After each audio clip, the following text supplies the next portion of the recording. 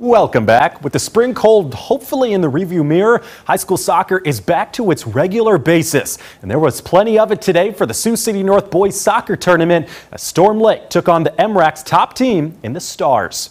Stars and Tornadoes meeting for the first time since 2016. Under eight minutes into the match, North on the attack looking for the shot, sent back by the Tornado D, but Ahmed Youssef responds in the corner for the goal. Stars strike first, 1-0.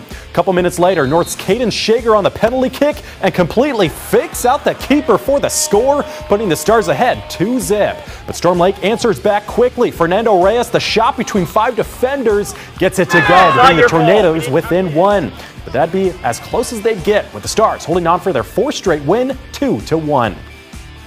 Following right after in the tourney, Le Mars taking on Sioux City West. Seven minutes into the first half, Oscar Perez with a penalty kick freezes the keeper in place. He finds the net as Wolverines with an early 1-0 lead. A few minutes later, West on the corner kick and Julian Garcia using his head to put the ball through, adding to the Wolverines' edge 2-0.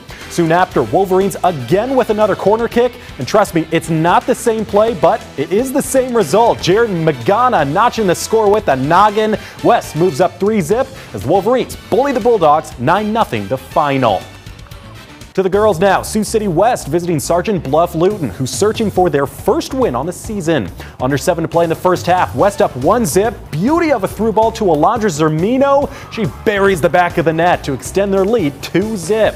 A minute later, West wanting more with Adriel Schultzen from close range. Though, snuffs out the threat with the save.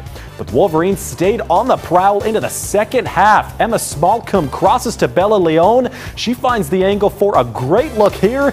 She doesn't miss, dribbling it in for the goal and a 3 0 lead. West tacks on three more from there to win it 6 0 the final.